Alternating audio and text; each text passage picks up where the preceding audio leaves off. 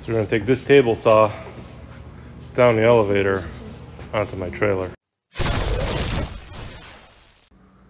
Screw off, watch YouTube with me for a little bit. Come on a journey. On a long drive to pick up a table saw. Took my boys with me. I got a free table saw from a friend of mine. I know it doesn't look like that right now, but it's upside down in my trailer. Gotta get it unloaded. You wanna see how I got it in my journey today? Just keep watching.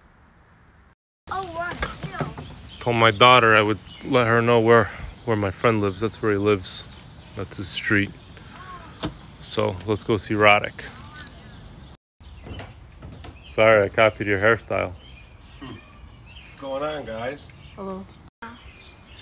So you lived in that? 30 years ago, I lived in that house till I was 12 years old. That's when I left 30 years ago. Used to go up on this roof and just chill out and look at the stars. So, old stomping grounds. Yes. It's a sunset. This is cool. Self storage.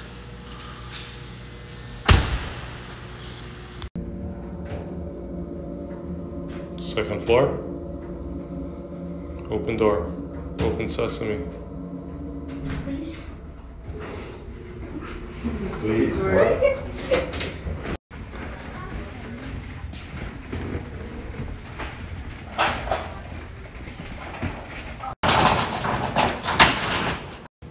So we're gonna take this table saw down the elevator onto my trailer. I helped this guy back up because he was stuck in here. So we got this strapped in. Go ahead, go ahead, do your thing. Do what you're doing. Go ahead, Dragon. All right, go ahead, Roddick. That's how we do. That's not- fair. You gotta eat all your vegetables. Eat your vegetables. Get tall. Same day, mile away. Just an adventure. Dairy Queen. Thank you, Pablo. It's a good day.